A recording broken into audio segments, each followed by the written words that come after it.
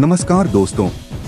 स्वागत है आपका हमारे चैनल मोटिवेट स्किल पर, जहाँ हम आपके लिए लेकर आते हैं बेहतरीन फ़िल्म रिव्यूज़ आज हम बात करने वाले हैं घुड़चढ़ी फ़िल्म के बारे में, जो 9 अगस्त से जियो सिनेमा पर स्ट्रीमिंग हो रही है। इस फ़िल्म में हैं संजय दत्त, रवीना टंडन और पार्थ समथान जैसे बेहतरीन कलाकार। तो चलिए शुरू करते हैं इस फ़िल्म का रिव्यू घुड़चढ़ी एक रोमांटिक कॉमेडी फ़िल्म है जो शादी और रिश्तों की जटिलताओं पर आधारित है।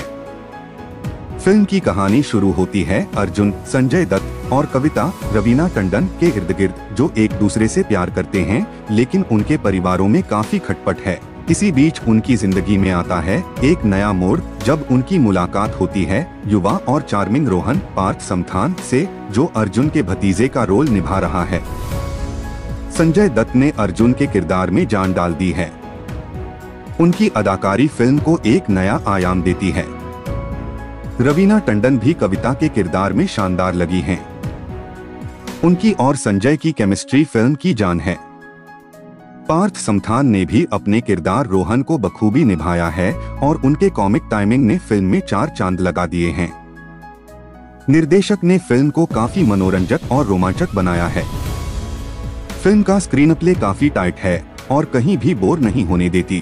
हर सीन को बेहतरीन ढंग से शूट किया गया है और संगीत भी कहानी के साथ अच्छी तरह मेल खाता है। गाने और बैकग्राउंड म्यूज़िक फ़िल्म के मूड को सही तरीके से प्रस्तुत करते हैं।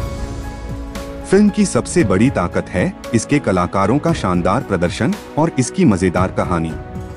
हालाँकि कुछ जगहों पर कहानी थोड़ी खींचती हुई लगती है। लेकिन कुल मिलाकर फ़िल्म दर्शकों को बांधे रखती है। घुड़चढ़ी एक मनोरंजक फ़िल्म है, जिसे आप अपने परिवार के साथ देख सकते हैं। इसमें कॉमेडी, रोमांस और इमोशन का बेहतरीन मिश्रण है। तो अगर आप इस वीकेंड कुछ हल्का फुल्का और एंटरटेनिंग देखना चाहते हैं तो घुड़चढ़ी आपके लिए एक परफेक्ट चॉइस हो सकती है।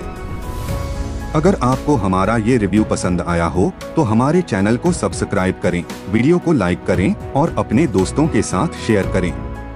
और हाँ कमेंट में हमें ज़रूर बताएँ कि आप इस फ़िल्म के बारे में क्या सोचते हैं। धन्यवाद। फिर मिलेंगे एक नए रिव्यू के साथ। तब तक के लिए खुश रहें, स्वस्थ रहें और फ़िल्में देखते रहें।